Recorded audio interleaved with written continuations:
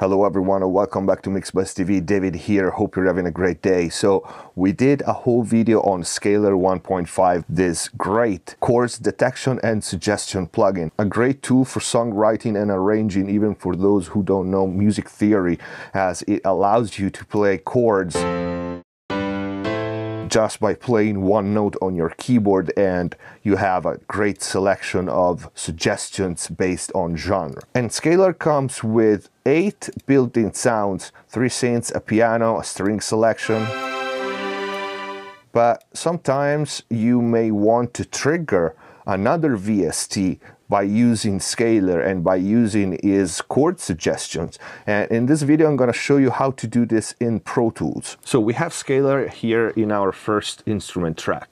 Let's say we want to trigger a different piano. We open another instrument track on Pro Tools. We open Mini Grand as an instrument.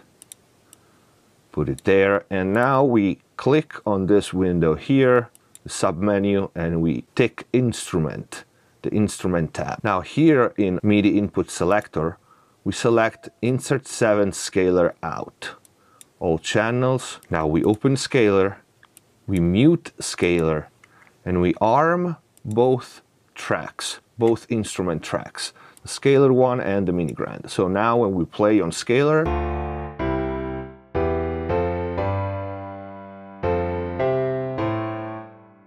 the sound is coming out from our mini grand.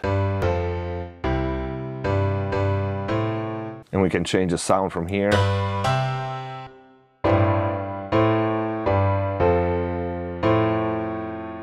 And if we want to trigger a different instrument, it's the same thing.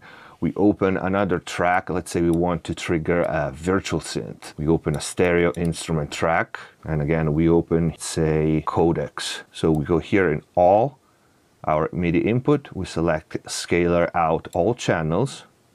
This case we unarm our mini grand and we arm codecs.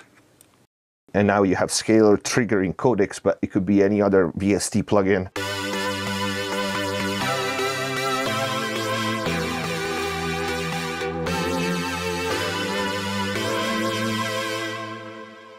And you can use scaler chords and chord suggestions to trigger any other VST instrument. Hope this was useful. Check out the full video for the overview and the new feature in version 1.5 of Scaler by pluginboutique.com if you want to get it, link in the info box down below with our discount. If you like this video, please leave a like, leave a comment, follow us on Instagram and Facebook, subscribe if you haven't already, and see you next time.